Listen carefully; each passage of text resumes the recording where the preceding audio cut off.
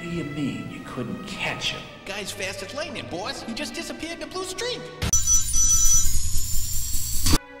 You idiot. You should have set a trap. Boss, he blasted right through it.